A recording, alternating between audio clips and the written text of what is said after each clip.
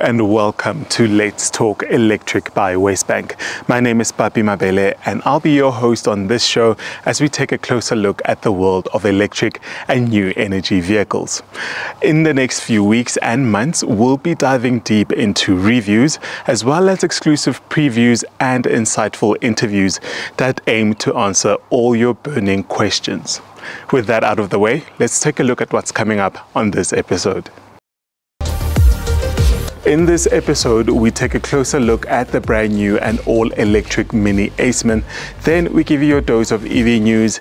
Then we take a look at the difference between AC and DC charging and the cost implications involved with it. And then we take a look at where South Africans charge along the national routes and elsewhere in between. Let's go. And our very first review for this episode goes to this brand new and all electric Mini Aceman. But let's have a look at the design first and take it on a spin.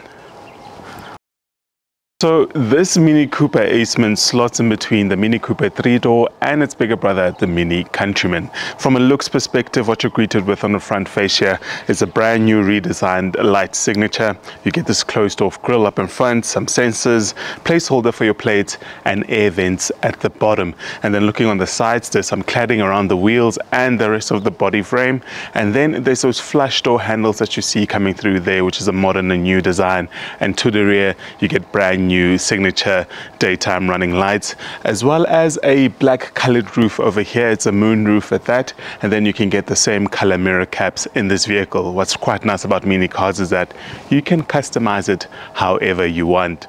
And then moving inside, you get that clothed out dashboard and then a brand new infotainment screen around the center of the vehicle, a center screen at that. And then you get leather seats, but they're actually made out of recycled material all over the car.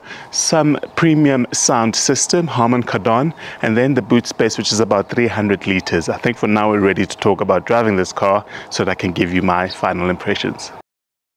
When it comes to driving this Mini Aceman, you're still getting that go-kart feeling that mini cars are known for coming through, which I really love on this car.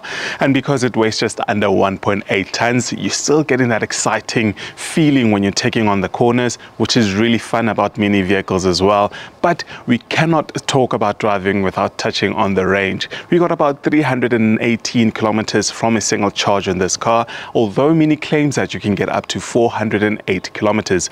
Those are WLTP numbers as well. I guess it depends on your driving style as well as the weather conditions outside.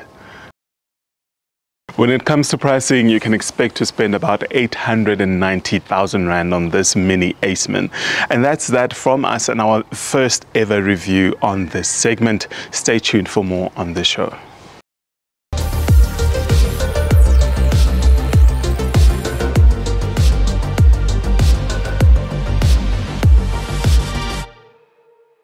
Now, before we get to the fun stuff, it's important that we understand what EVs are.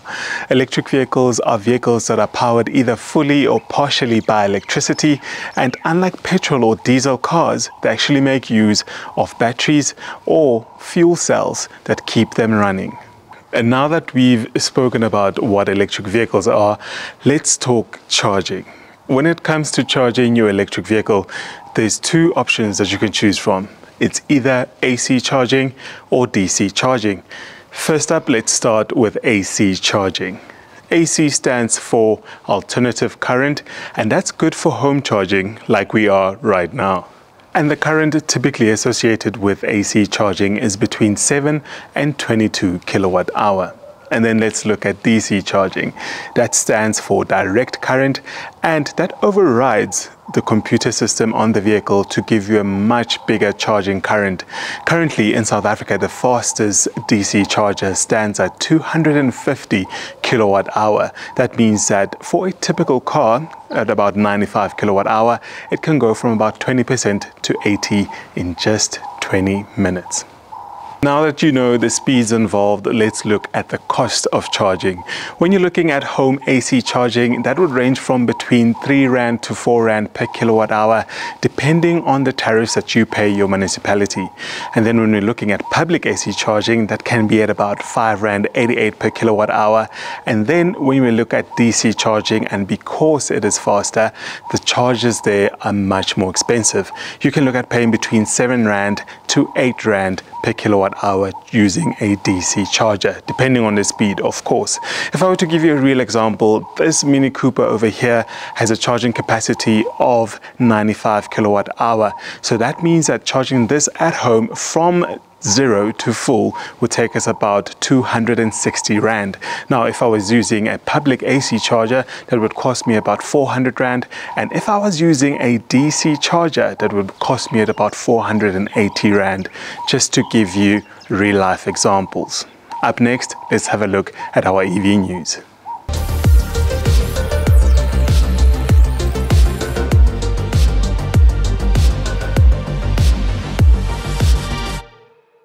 And now let's plug into the latest across the electric vehicle and new energy scene. Starting up with EV manufacturing gaining momentum in South Africa. South Africa's first 1 billion rand push for local EV production is gaining interest from global players. BMW's hybrid X3 production in Rosslyn is already underway, with the first full EV assembly expected by 2026. Meanwhile, Stellantis is advancing plans to open a local plant, strengthening the country's role as an EV hub for the continent. And moving over to point two, we're looking at Johannesburg piloting battery swapping technology. This means that City Power is not only looking at expanding its EV charging network, it's now trialing a battery swapping system in key metro areas. As part of its 10 point energy plan, this initiative aims to reduce charging wait times and support fleet electrification, especially looking at taxis and last mile logistics. And at point three, Cape Town's electric bus fleet is growing. Cape Town's MyCiti service will begin testing its first Volvo electric bus later this year, ahead of a full rollout of 30 units by 2027. The city is also evaluating solar charging hubs to support low carbon transit operations across the Western Cape. And looking at point four, growth versus affordability challenge. EV sales grew over 80% in 2024, but still accounted for under 1% of total vehicle sales. High prices and import duties remain key hurdles. Analysts expect the local EV market to surpass 8.7 billion in value by the end of this year, and if charging infrastructure and affordability improve in tandem. And then last but not least, Chinese brands diversified the market. Chinese automakers like BYD, GWM and Chery continue to introduce new energy vehicles. Recent launches include Chery's Omoda C9 PHEV and Jaecoo's J7 SHS, both boasting over 90 kilometers electric range and hybrid flexibility, offering alternatives for longer distance commuters. And that's a wrap on our news update for this episode. Stay tuned for more on EVs and new energy.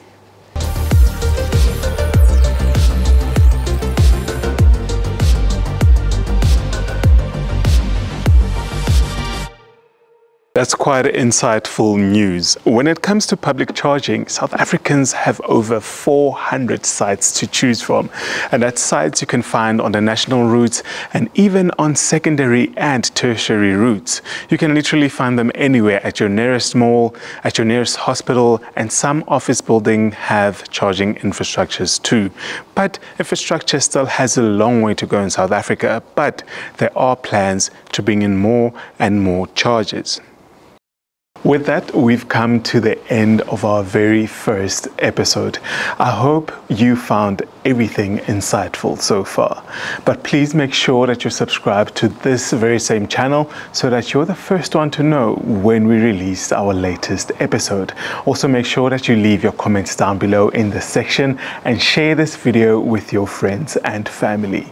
Up until next time, thank you so much for watching.